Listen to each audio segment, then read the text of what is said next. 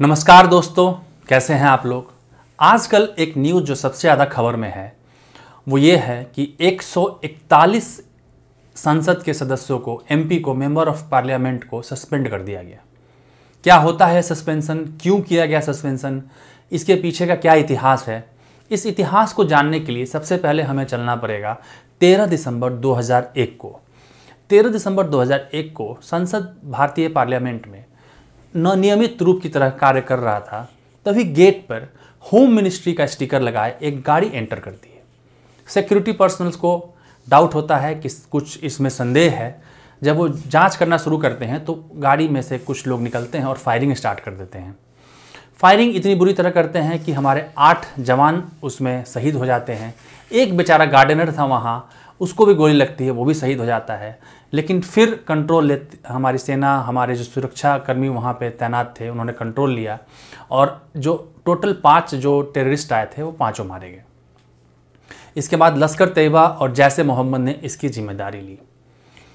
बात यहाँ ख़त्म नहीं हुई, इसके बाद कई जाँच कमेटी बनी, कई बदलाव किए गए और इसकी जो बाईसवीं तिथि थी, बाईसवें साल में जो हमारे लोग शहीद हुए थे उस दिन, उनको याद करने के लिए एक मिनट का मौन रखा जाता है।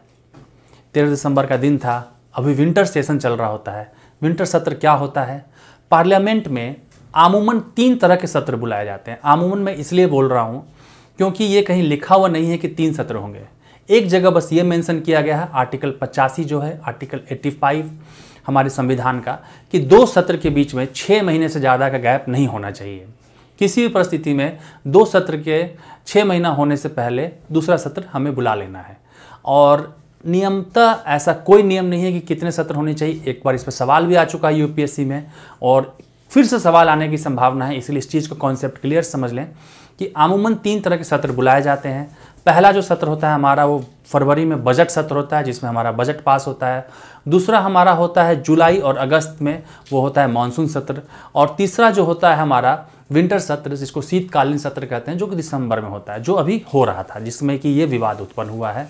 इसके अलावा एक और होता है, ज्वाइंट सेशन होता है। दोनों सदनों का, लोकसभा और राज्यसभा का ज्वाइंट सत्र होता है। ये आर्टिकल 108 में लिखा हुआ है। कौन बुलाता है ज्वाइंट सेशन? ये इंपॉर्टेंट है। कौन बुलाता है? तो राष्ट्रपति बुलाते हैं। इसकी अध्यक्षता कौन करता है? तो लोकसभा के स्पीकर करते हैं। अगर लोकसभा के स्पीकर किसी कारणवश उपलब्ध नहीं है तो लोक लोकसभा के डिप्टी स्पीकर करते हैं। अगर वो भी उपलब्ध नहीं है उस दिन तो राज्यसभा के डिप्टी चेयरमैन करते हैं। ये इंपॉर्टेंट इसलिए है क्योंकि आज तक सिर्फ़ तीन बार ज्वाइंट सेशन बुलाया गया है, लेकिन परीक्षाओं में इसे लगभग सैकड़ों बार पूछा जा चुका है। एक सवाल अक्सर यहाँ से एक और आता है कि इसमें कोरम क्या होना चाहिए? कोरम का मतलब होता है कि मिनिमम कितने लोग होंगे तो सत्र होगा। तो 10 परसेंट होना चाहिए लोकसभा और राज्यसभा का जो सदस्य हैं, उनका अगर 10 परसेंट होगा तो ये सत्र स्टार्ट किया जा सकता है। तो ये तो बात हो गई हमारे कितने तरह के सत्र होते हैं। अब हम चलते हैं तेरह दिसंबर दो हज़ार तेईस की तरफ़। तेरह दिसंबर 2023 को सत्र फिर वैसे ही कार्य कर रहा था, नॉर्मल कार्रवाई चल रही थी। एक मिनट का मौन रखा गया था। तेरह दिसंबर 2001 में शहीद हुए सैनिकों के लिए और जो सुरक्षाकर्मी थे उनके लिए। फिर एकाएक एक आदमी दर्शक दीर्घा दर्शक दीर्घा लोकसभा में जब सदन चलता है तो उसके ऊंचाई ऊंचाई पे कुछ बनाया रहता है। वहाँ से एक आदमी लटका हुआ पाया जाता है। पहले तो लोगों को लगता है प्राइमा फेसी कि शायद कोई गिर गया है, लेकिन जब वो नीचे कूदता है और धीरे धीरे टेबल पे टेबल आगे बढ़ता जाता है, तब सबको लगता है कि नहीं, कुछ दाल में काला है।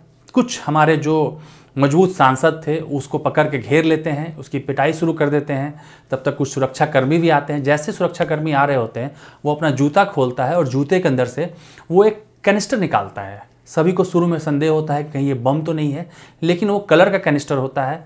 उसमें से पीला कलर चारों तरफ़ फैल जाता है लोकसभा में। उसके बाद से जो लाइव फुटेज था उसको बंद कर दिया जाता है। लेकिन उसके पहले जो लोकसभा के स्पीकर होते हैं, उनके द्वारा बोला जाता है कि आज की कार्रवाई स्थगित की जाती है। यहाँ तक मामला होता है मामले में जाँच में पता चलता है कि छः लोग थे। उनका ब्रेन वॉश किया गया था कि भगत सिंह की तरह, भगत सिंह ने भी इस तरह का कुछ कार्य किया था, लेकिन उस पर हम नहीं जाएँगे। हम जाएँगे कुछ टेक्निकल आस्पेक्ट्स पे। उसके बाद क्या होता है? लोकसभा का जो सत्र अगला स्टार्ट होता है, उसमें जो विपक्षी पार्टी होती है, वो इस चीज़ के लिए आवाज़ उठाती है कि जब लोकसभा में सांसद ही सुरक्षित नहीं है तो देश कैसे सुरक्षित होगा? और देश की सुरक्षा की ज़िम्मेदारी दी जाती है गृह मंत्री को होम मिनिस्टर को। वो गृह मंत्री से जवाब मांगते हैं और बोलते हैं कि जब तक जवाब नहीं मिलेगा, वो कार्रवाई को आगे नहीं बढ़ने देंगे। इसके लिए वो शोर शराबा करते हैं।